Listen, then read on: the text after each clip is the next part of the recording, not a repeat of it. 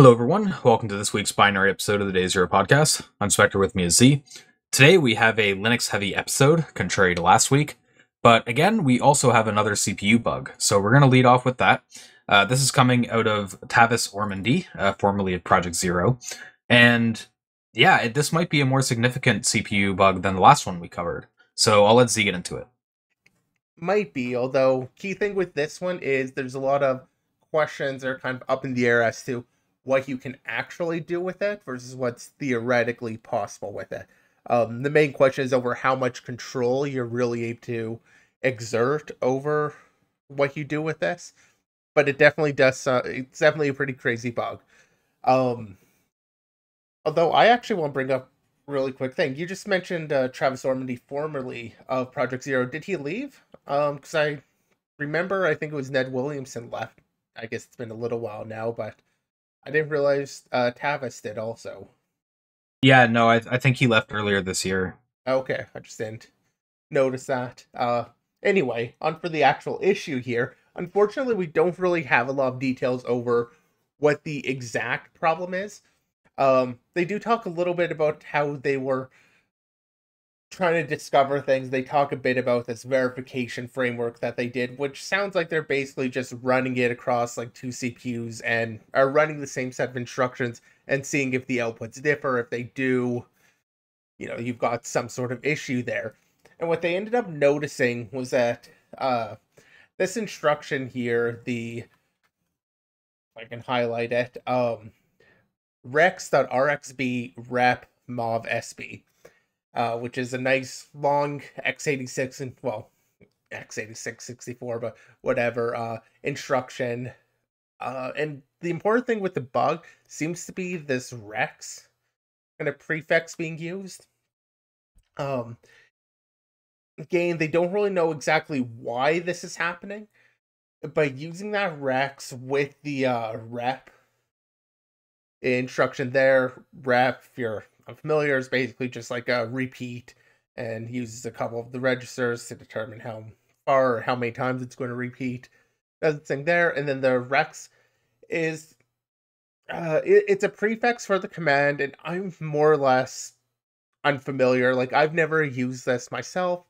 We're talking about a little bit pre-show, but the idea is simply, or how, how they put in here, is it increases the available space for encoding operands. So if you want to hit registers that uh, maybe you wouldn't normally be able to use, you can use this prefix in order to expand the space that you've got, uh, like add some extra bits in order to encode those uh, registers. They do talk about uh, here in the for or here with this little graphics, you know, the rex prefix can lend the next instruction extra bits to use for operands, so we can encode all 16 possible general purpose registers. So fair enough. I've never used it. Maybe the compiler has with something I've written, but it's not exactly part of my uh, assembly vocabulary or whatever. So I do have a little bit of uh, unfamiliarity there. But that instruction, nonetheless, does something weird.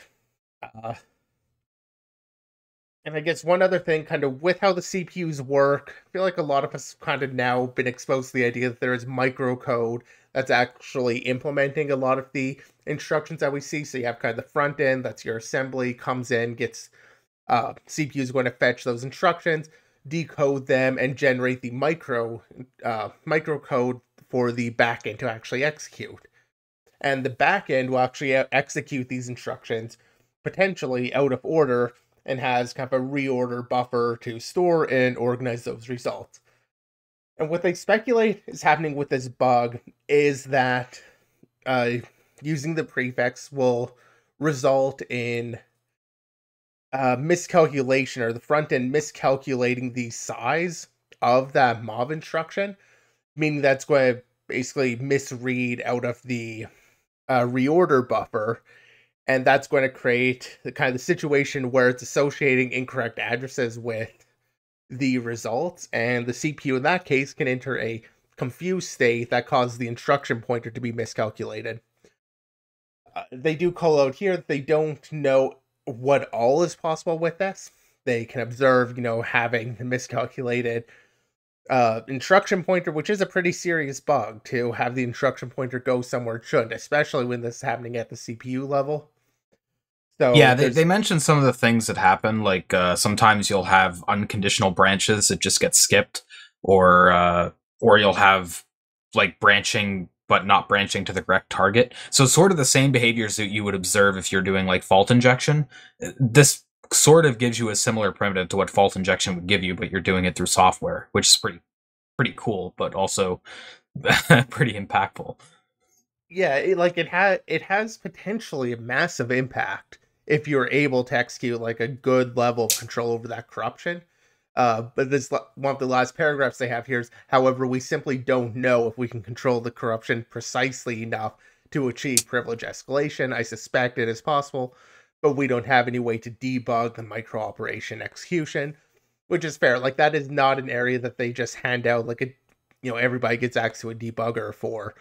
I don't even know what they have in terms of just internal tooling or whatever I imagine there's some level of debugability, but it, it's basically just a black box to anybody outside of the actual manufacturer.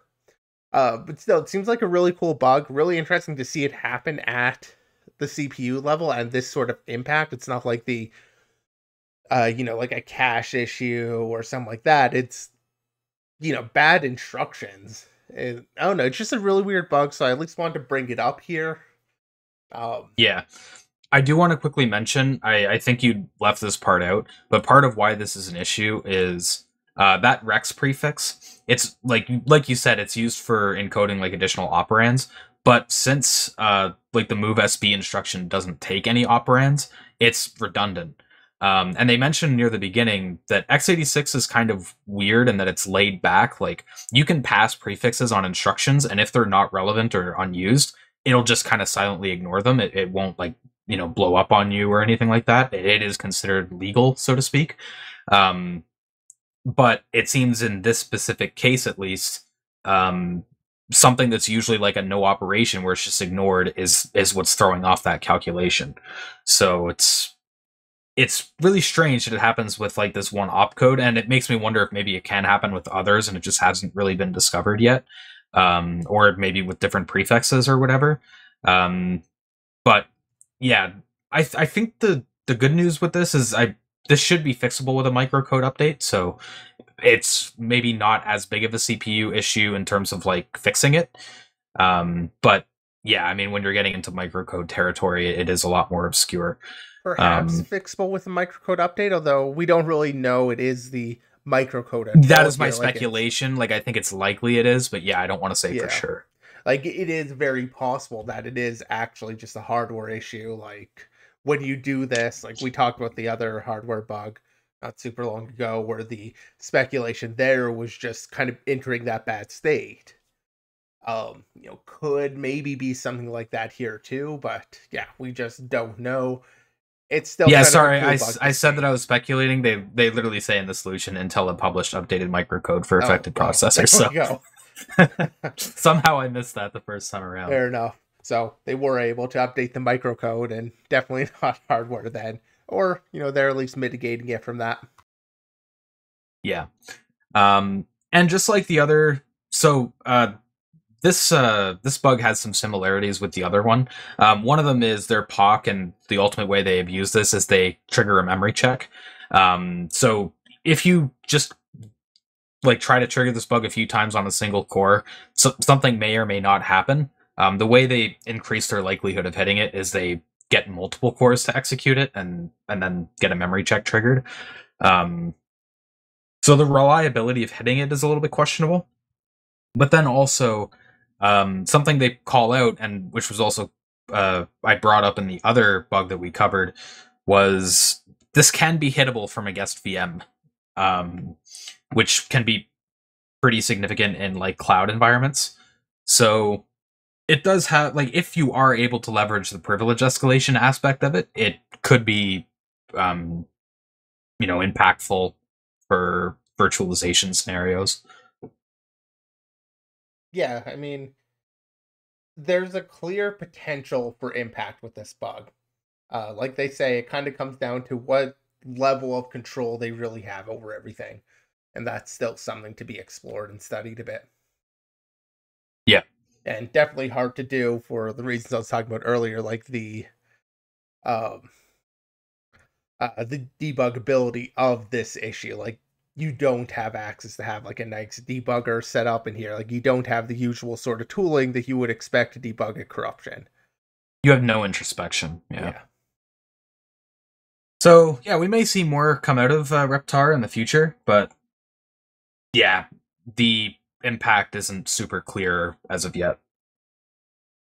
Yeah, All right, I, so I we'll do get into agree, oh. though. Sorry, with the author, like they do mention that they speculate that is probably possible uh, to do it. Just they lack kind of the experience and study or time studying it to figure it all out. But I would agree that it's feels like something that's probably workable. Yeah, I mean, like I said, I put it in sort of the similar bucket as fault injection, um, where for people who don't know what I'm talking about, there, like fault injection is when you mess with the CPU to cause it to do some kind of unpredictable behavior, like you disrupt the power input going to it or bombard it with electromagnetic pulses or something like that. Um, the difference there, though, is with fault injection, you have a lot more control over the timing and you can keep trying it over and over again with some kind of setup. Um, whereas with this, you don't have as much control on the timing or when it happens. Um, you kind of just have to hope that it happens, but I'm sure there's at least some scenarios that it could be leveraged. So. All right, but uh, yeah, we can get into some of our Linux issues. So, uh, yeah, up first we have a slide presentation, one shot triple kill, pwning all three Google kernel CTF instances with a single one day Linux phone, and I'll let Z get into this one.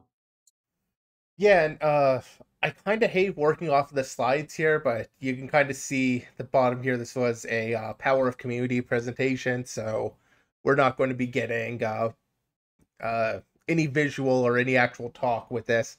Slides are about all we're going to get unless they do a uh, better write up of this. But as far as I can tell, they've not put that out. Uh, so first off, a little clarification. Uh, as they mentioned here at the top, poning all three kernel CTF instances. That's because with the Google's kernel CTF, uh, what they're doing, we've talked about it a handful of times. Uh, more generically, is just being like a platform that allow that focuses more on the exploitation side, so you can report one day vulnerabilities because the focus is on actually exploiting them in uh, on what is presumably a recently updated machine in one case. So they have kind of three setups that you can try to attack and capture the flag on. One of those being a uh, the latest kind of stable long or LTS edition of the Linux kernel. That's updating, you know, every two, every like couple weeks, every month or so. Um, and that's exactly what it sounds like, just the latest long-term stable version. Um, the other version is a mitigation version. It's not as upgraded. Uh, however, it has kind of experimental mitigations turned on. And the other version is their container optimized uh, kernel configuration. That's what uh, they're using on like the cloud and like GKE when they offer Kubernetes and stuff. Um, that's what they're offering there. So being able to basically attack the Google Cloud um, is the other scenario. So they have three scenarios, and they wrote their uh, one, or they use their one vulnerability and two exploits to um, exploit all three of those, basically. Uh, so getting into the vulnerability, seems like the vulnerability was a or effectively just a coding issue or misunderstanding. Um, because if you take a look at this, I'm just going to jump right into this code, but it's within NetFilter stuff, um, within a NetFilter uh, batch or transaction, so you can give kind of multiple things to be done during that. They all get run. Um, you can create a uh, kind of new set of rules or NetFilter expressions. Uh, so you create the new set, and in an error case, uh, if an error happens while adding one of the new rules, it ultimately ends up falling into this um, uh, deactivate or deactivate set function, which takes a look at what phase uh, the system is currently in. So, like, they have the transaction prepare phase, uh, but they also have or for what matters here. The other case is the uh, NFT transaction release phase. Uh, so when they fall into this error case, they end up just basically setting the uh, phase to be that transaction release phase. Although the error is happening fairly early on, uh, they and during a transaction, this can actually be in the prepare phase, and they basically just have the wrong phase being forced in here, and so the difference ends up being, um, when it uses the release phase, um, it'll do the same uh reference count decrement, and then it will go to unbind the set as it falls through into the default case. Whereas if you're in the prepare phase, it's not going to try and unbind the set. You can still do whatever using the set. It's not going to do anything there. Um, and so that difference ultimately ends up leading to a, a use after free scenario where if you have one transaction, you create your new set, you add a new rule to it, and during adding that rule, falls into this error case. Uh, you hit that error case, it ends up unbinding the set, uh, ends up, uh, I believe it ends up freeing the set, and then when you go and add another rule still inside that same transaction, so it still has a reference to the set, it's now referencing a freed object, and so you end up with that use after free. Um, in the patch, uh, they kind of have here on uh, slide 16 is literally just replacing the call to NFT rule re- or NF tables rule release. And that function called these next two functions. So they kind of did a little bit of refactoring here. What this really comes down to is they just changed that uh, phase that's being used into a transaction repair instead of the transaction release that we talked about. So simple patch. That's why I believe at its core, like that's just the root issue, just a developer misunderstanding of the code. Um, and a very fair one at that, because when I was first reading through this, I was like, uh, okay, you're in an error path, like calling a release routine, because that's another thing. There was a bit of indirection here because the patch, you can see they originally called this NF tables rule release, which then inside of that would use the uh, netfilter tables trans release flag. Um, so when you're looking at the code and you're just like, okay, the like go to is called error release rule, then call rule release. Like it it makes sense. It's intuitive.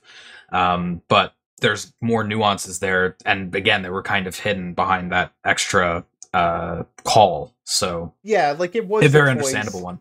Yeah, like I don't think the NF tables rule release function is doing it wrong because you know it's explicitly trying to release. Like I don't think it's actually wrong, and that's why in doing this patch they didn't they no longer call that function. They didn't get rid of the function because it still has its use they just basically replace the same function, which is just two lines, uh, with the same thing, just different phase. They so the author of this particular thing, um, okay, I I had I had kind of a thought I was just working through about why it might been, but I'm not actually going to get into it. Just explaining my pause there. Uh, but yeah, it, it does feel pretty understandable to try and just reuse the function because that's kind of in your head what you're doing. I, I think it's fair. It would be hard even to spot this as you're just reading through the code without really stepping through what everything means and what it does. You may not notice that the difference really matters. Uh, yeah, it's a pretty subtle issue. Yeah, or at least I'd say so looking at it from here. Um, I haven't done a lot of auditing in NF tables, but yeah, it's a fairly complex subsystem, has a lot going on. Fair enough. So I've just pulled up kind of the state for at least getting a use after free, and it's basically what I said. You start the batch or trans I think I was calling it transaction. Um create your new set, trigger the air condition, so freeze, add a rule using that new set, or you well, using the now freed set. Um out of chat xcd80s there's paper on it as far as i can tell we've only got these slides um there was a presentation given at power of community. However yeah, they don't put this came at a power community yeah they, they don't really put out resources. Um we're actually kind of lucky we got slides for this. Uh, a fair amount of like poc talks don't even uh, the slides aren't even released so. Yeah so unfortunately as far as i've seen we don't have anything kind of more detailed. it is possible that somebody that they will put out a blog or they will put out a paper. It has happened, but this is all we've got right now. Uh, now, while this is a use after free bug, uh, the way they actually exploit this was rather than trying to race this pretty small, or it's I I don't know. I guess I want to say it's pretty small because you're needing to do it inside the same transaction. That said, you know, adding a bunch of rules, you could probably open the window up a bit on there. Um, nonetheless, they and I'm saying probably a game because of my own unfamiliarity, but uh, they decide not to. They did kind of raise the idea that they could race these different areas and try and reclaim the transaction, do something with that. Uh, but instead, what they went for was trying to do a double free, which was basically just by, you know, you go create the new set, um, or the way they, so in theory, you would get the double free uh, just by, uh, like you, you free the set and then you end the batch and it's going to free again. Uh, once the transactions end, ends, it, you know, gets freed. However, you do have in the slub allocator within the Linux kernel a fairly naive double free detection. I mean, a number of allocators do it. it. Basically, when you free something, it just looks and makes sure you're not freeing the same item twice in a row. So as long as you can get something else freed in between, you're able to get around it. Stops a few cases, not a ton, but it is a fair, like really quick sanity check to perform. Uh, yeah, so, I like to call that strategy interleave double freeing. Um, you're still getting enough. the double free, you're just interleaving something else with it. Yeah. Yeah yeah, so that's kind of what they go at here, and that's why this uh, chain is a little bit non-obvious at first, but uh, they create two. So in their one transaction again, this time they're creating two sets. Add a rule to the first set, causing the free. Add a rule to the second set, causing a free. They're different.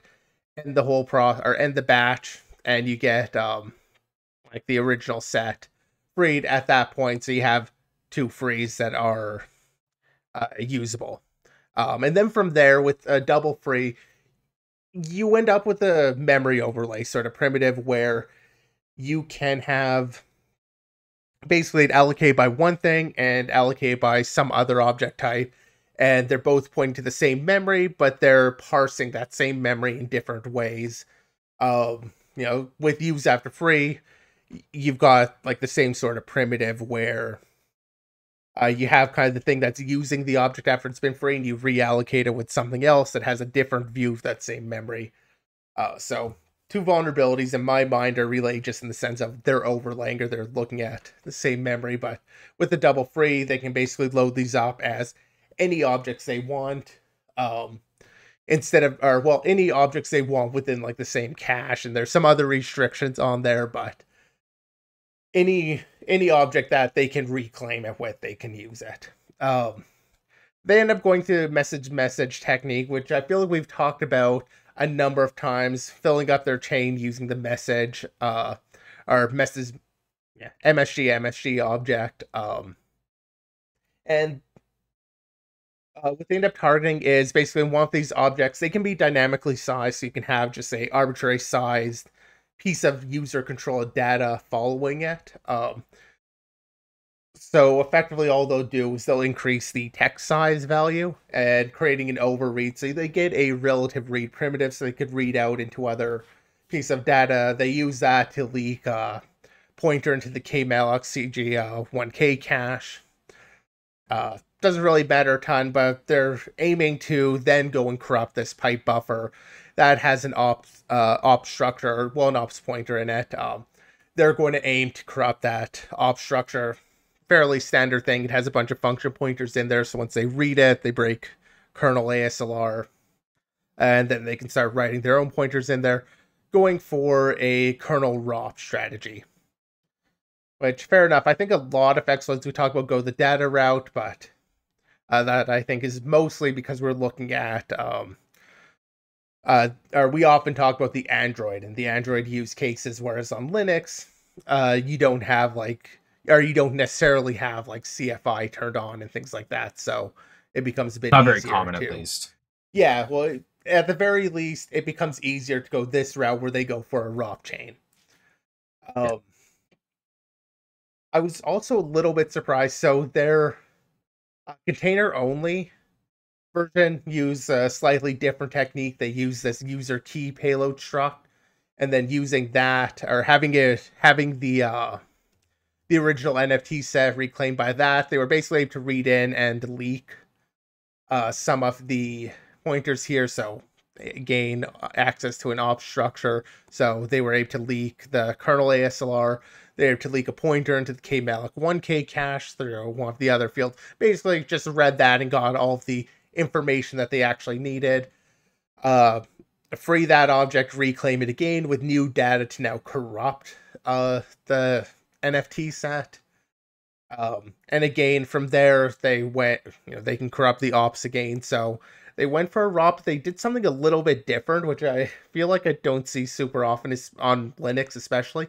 Uh, they went for a ROP, but then they used the ROP to uh, call the set memory X or create mem or set the memory as executable, um, and just put use like kernel shellcode in order to go after this. So the ROP was just the uh, presumably just like the one function and the arguments for it um, in order to call into shellcode, which, you know, fair enough, it works.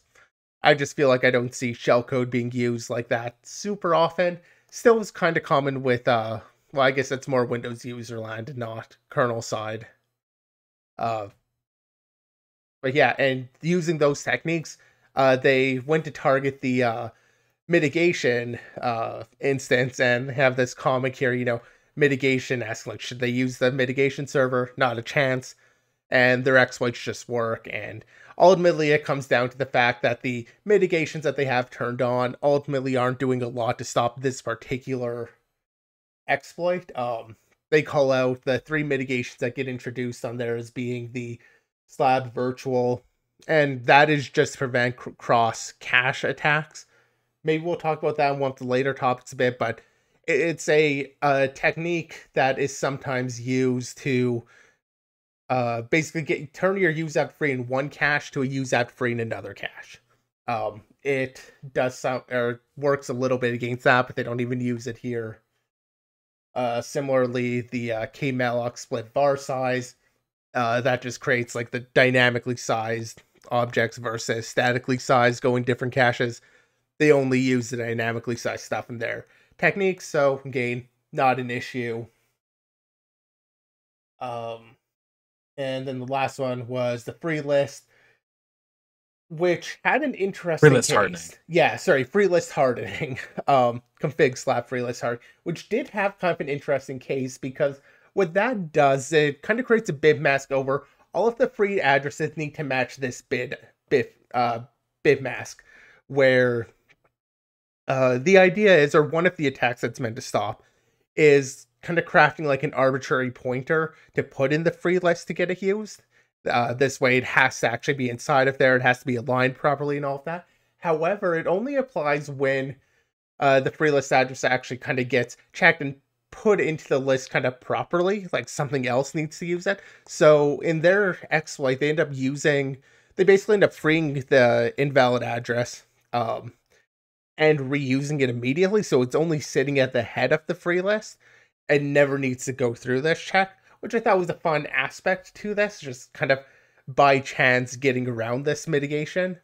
Um, I didn't really talk about the case where they use that, but they did use um, kind of that corrupted free entry in one of their attacks.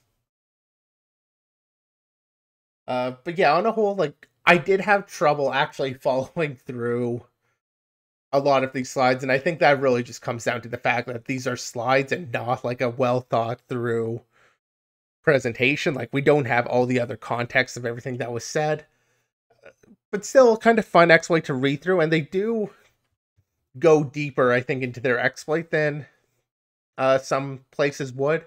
You know talking about what their thought was on how they're doing their ROP chain and such. I know sometimes we just gloss right over the ROP chain aspect so Oh, yeah, I, I mean, I it's, it's tricky to cover exploit. It's tricky to cover exploit implementation stuff in a talk um, because you're you're pretty time constrained and you don't want to you know lose the audience if they're not familiar with some of the background. So you don't get to see it super often, but it is here. Um, but as you said, where you're missing the context of what's being said and whatnot, it, it, can be a bit tricky to follow, which is why I kind of hope there is a blog post that comes at some point. But even without it, um, especially because they're using the known technique of like message message objects, you can still follow along fairly uh, fairly easily. Yeah, it's like if you're willing to do the extra googling, like message message is in some unknown technique or something, like you can read up on a lot of this and a, a lot of it like does make sense. I would just love to kind of have a I don't know, I would love to see the talk, honestly. Yeah, one day I'd, I'd like to go to the power community just because there there's a lot of talks that are really cool that happen at it, but they're just they don't you know, if you didn't go there, you're not going to see them. So yeah, and POC's um, a Korean conference, right? I think it's in South Korea. Yeah. Yeah. Well, I can't imagine we are anybody's really going to a North Korean conference. Yeah, I mean it's just yeah. I guess that's kind of implied. Yeah. So yeah, uh, with that said, though, we can get into our next Linux bug. So uh, it, it's funny when you keep in context of KCTF because uh, io_uring bugs used to be aplenty in KCTF, and then Google was like, okay, we're we're not dealing with this anymore. So io_uring was like cut out of uh, the KCTF containers. So where people moved was uh, the NetFilter stuff. So uh, we're kind of going backward here. So yeah, this is a Linux kernel exploit using a bug in none other than io_uring, um, which because it was such a buggy mess was stripped out of the KCTF and Kubernetes containers. Because at one point, literally every bug that was being paid out uh, for some time was an io_uring bug. So we were made aware of this post from the author in our Discord, uh, Anatomical, and it writes up a bug that was discovered by Tobias Holl. So for those not familiar with io_uring, it's basically a Linux API implemented through system calls that allows for asynchronous I/O through shared memory. So you have a submission and a completion queue ring, which the user space can write into the submission queue. You can signal the kernel through the io_uring enter syscall to process those entries, and then the kernel will write into the completion queue, which the user space can then read, and that's how the communication works. It also has various other features and functionality. The one that's relevant here is fixed buffers. So I think we've talked about fixed buffers a couple times because they've been relevant for other vulnerabilities as well. But uh, the idea there is you can basically register buffers that have their pages pinned so that they're not paged out and they stay mapped in memory for long term use. Uh, and that, that's a performance thing because when you're trying to access memory and it has to be paged in, you have to wait for that to happen. And it's just not something you want to deal with if you're doing a lot of uh, IO heavy work. So the sort of issue though is when they're dealing with registering these buffers there's a bit of logic that needs to be implemented in the kernel because paging is somewhat complicated and you're basically letting the user allow pages to be exempt from paging mechanics of being paged out. Um, so the user passes an iovec of the buffer's address and length and on the kernel side it'll create a biovec uh, which is basically just an iovec but for physical memory on the kernel side. Um, where problems start to come in, though, is the buffer register function will try to be a little bit clever and do some optimization. Um, so there's a bit of a sidebar I have to go on here um, before we go further. Because when we talk about pages, typically when you think pages, you're thinking of, like the block of memory, which is the minimum size that can be allocated by the kernel um, from physical memory. Typically nowadays, that's going to be four kilobytes. But in the case of Linux, because terms just get reappropriated so much, a page can also refer to compound pages, which is basically a group of pages that are contiguous. Um, and in compound pages, they use the first page that holds information about the group of pages comprising that compound page, and then the tail pages point back to the first page. But this insanity causes some problems because any function that needs to operate on pages needs to know if it's a compound page uh, or rather, if it's a tail page of a set of compound pages or just a singular page. So, to solve that issue, they created this new object called a folio, uh, or rather newer. I don't think it's like super new or anything. Um, but yeah, it's called a folio, and that's basically just a page structure that's wrapped in this new name. And a folio type is only assigned to those first pages or singular pages. So, in other words, they're never assigned to tail pages. So, coming back to io_uring, if you're trying to pin a buffer that's larger than one physical page, it will check to see if these pages are part of a compound page by checking the folio pointer. And if it is, it'll reduce the number of pages to one and mark it as a folio type. The problem is when they iterate over the pages and do this folio checking, they don't actually make sure that pages are physically contiguous. So you can have multiple virtual pages that map to the same physical page, which leads to the situation where the buffer is virtually contiguous, but it's not physically contiguous. Um, they just kind of assume that it is, but they don't validate that it is. What that essentially gives you is an out of bounds access on adjacent physical pages. And given that these are treated as buffers and you have read and write access to them, this is stupid powerful. Uh, you can basically read and write whatever you want on these physical pages that you don't have ownership of, uh, and just like spray some target uh, physical pages to end up occupying that space. What they ended up targeting here was a page of socket objects. Because sockets are like a pretty nice object to hit, they have a bunch of useful pointers that can allow for both kernel ASLR defeat uh, by reading out, and then uh, also the other nice thing with socket objects is they can tag them pretty easily. So there's some fields like the pacing rate field and uh, one other one that i can't remember because i didn't note down. Um, but they can just set those with a known value and then using their read they can just check to make sure that that socket object is one of the ones that they sprayed. And then of course where you can leak the uh, operations table pointers, it's also easy code execution because you can just replace that operations table to hijack the instruction pointer.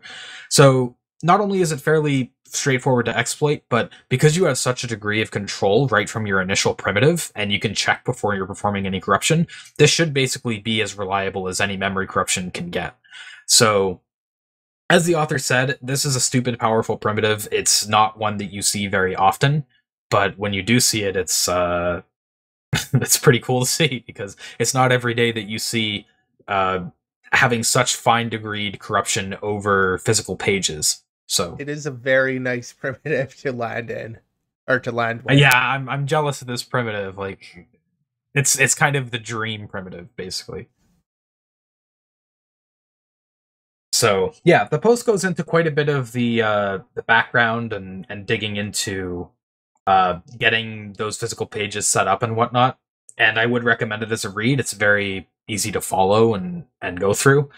But yeah, um, even though it is an io_uring, and a lot of the io_uring bugs that we cover have sort of a similar exploitation strategy, um, because like io_uring has a lot of primitives in and of itself, but where this bug is so unique, the exploitation strategy, while it's simple, it's it's brilliant as well. Uh, sorry, Z, were you gonna bring something up there? I just saw you open a tab, so. Oh, I had I was just uh, adding the uh, link to Tobias Holl uh, into the show notes by opening that. Ah, okay, cool.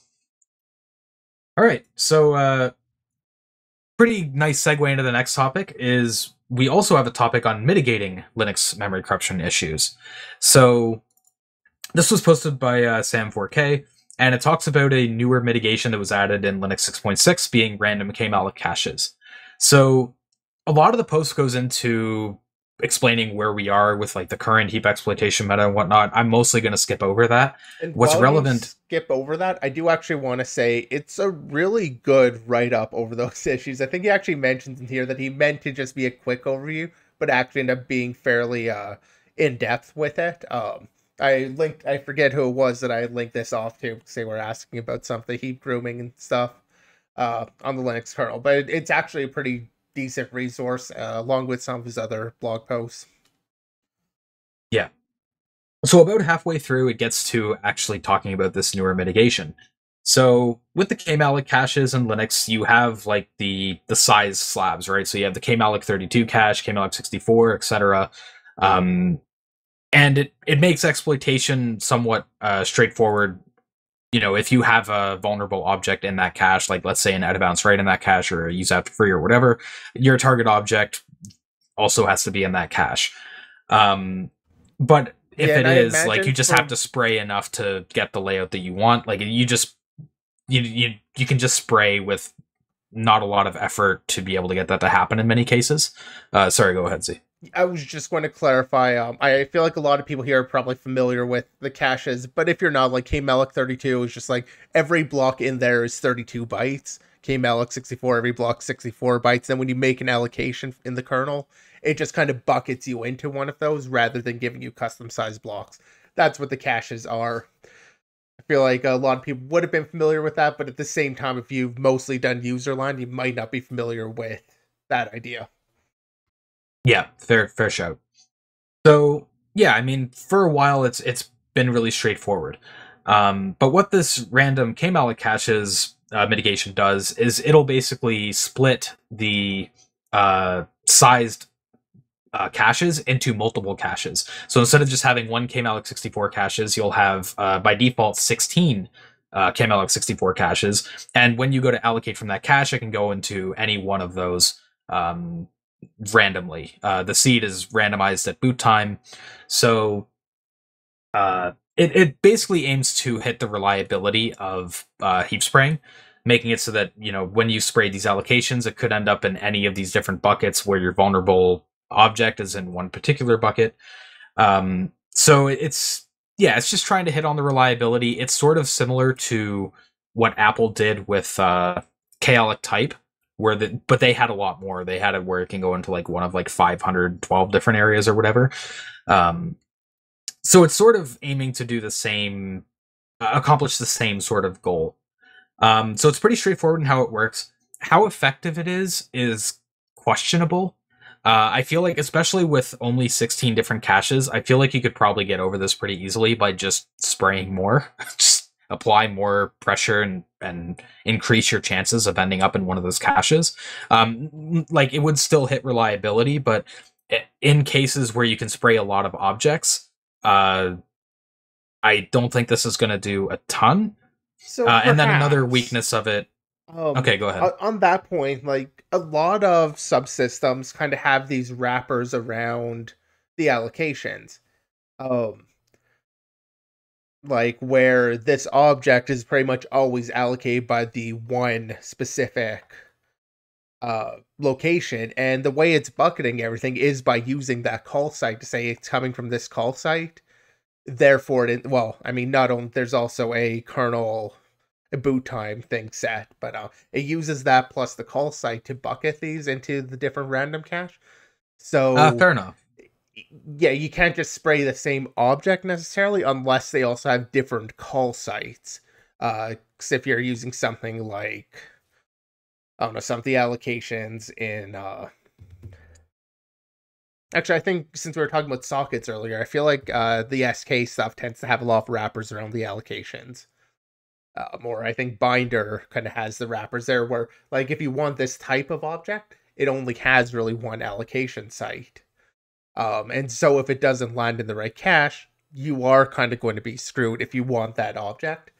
Um, my thought was like this might be a place where you then need to kind of tailor the exploit a bit more. Check what, like, have one have some way of checking. So it would need an extra, uh, it would need at least an extra primitive to be able to check if your corruption landed, or something like that, in order to determine if it's in the same heap or in the same cache. Sorry.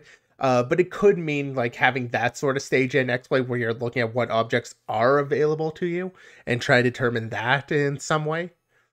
Um, that would be adding a significantly or like a significant extra step into an exploit because you would then also need to write it in such a way that you can do the corruption against multiple types of objects which may or may not actually be possible given your corruption and you may not be able to actually detect that again given your initial corruption um but yeah, I did want to call it the call site aspect because that is definitely a limiting factor in a lot of cases. You can't just spam the allocation because it's not separating them um, with like a normal distribution across all the caches.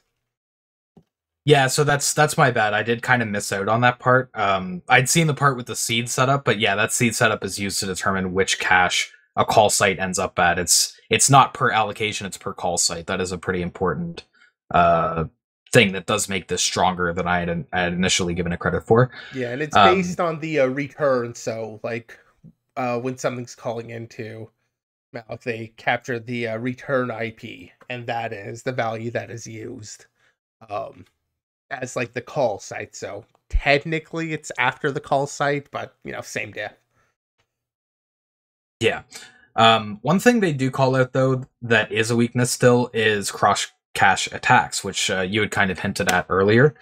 Um, So yeah, as Z had kind of mentioned in an earlier topic, um, the idea with cross cache attacks is you basically manipulate the page allocator into freeing a given page that was backing one cache and get it to back a different cache. So because these caches are going to be implemented on top of pages, um, it's it's susceptible to that, right? That there's nothing stopping the page allocator from just giving it uh, a different cache, unless like some of the mitigations are enabled for that. Um, so you could end up freeing a page that's used for like a kmalloc, one of the random kmalloc 64 caches, and get that reallocated to you know either a different kmalloc, one of the other random kmalloc 64 caches, or some other size, um, and it could still be susceptible to that. Um, that said, the reliability impact would still be there, I think. Um, so yeah, I mean, as is always the case with these kinds of mitigations, it's not going to be a catch-all. It's not going to stop everything, um, but it might be significant in hitting reliability, or at least forcing uh, exploit developers into crafting their scenarios better. Uh, kind of like what you'd said earlier. Yeah, like it's definitely an interesting mitigation. It is kind of nice because, and I say nice from the security perspective because it is relatively lightweight. Like the uh, method that they're using here is effectively just like a couple uh, multiplication and a shift in order to bucket everything. Like it's not a huge overhead. Um, so like it is. It's not a huge overhead. It's not a massive impact, but it does feel like it will definitely have an impact. Um, like I said, especially just around the complexity, it makes the exploit more difficult to develop because you need to deal with this in whatever way you choose to deal with it. At least when you have a vulnerability that falls into this sort of attack. Yeah. So I'm curious to see how much uh, it'll be used or how quickly it will be. Uh, because one thing I will say, like this is coming in Linux 6.6, it's pretty much uh, unheard of for many significant applications or servers to be leveraging the bleeding edge Linux version. Um, so it'll be a while before we'll see things catch up to be able to even use this. But when they do, like you said, where it's lightweight, it doesn't seem like it has a ton of overhead. It, I think it would be a fair thing to enable, especially on the more hardened, you know, kernel forks or kernel configuration uh, options. So yeah, and I did could see it getting at, some use eventually. I didn't take a look at whether or not this was actually like defaulting to on. Okay, it does default to off, unsurprisingly, um, because it does have a performance impact. I imagine like Linus would not be happy to have that as a default. So, yeah, I guess we'll see who actually decides to adopt it. But yeah, all right, so before we end off the show, we do have a few shout outs. Um, so yeah, one of them is the ThinkstScapes uh, quarter three release. Um, I'll let Z get into this one, and yeah, then we'll wrap it up. Yeah, ThinkstScapes, we've mentioned them before. They put out this quarterly research roundup. Um, literally just in the last quarter, any research that they think is noteworthy and worth checking out. They mentioned we highlight 16 talks from you know ver- various uh i guess budding trends. I thought they were going to get into how many conferences they looked at as i was reading that but they have 16 options in there. It is a pdf that you have to download. Uh well i guess they also have an epub but uh yeah i mean usually they pull out and point out some good research. It's quarterly but definitely worth uh, checking out. Um i glanced at it so far had several uh conference talks that actually look pretty interesting so i'll probably go back to it and actually watch some of them in the future. But yeah, they put it out, so I want to call it out. I haven't actually listened to their episode, but they do have what looks like a you know 25 minute roundup here on them.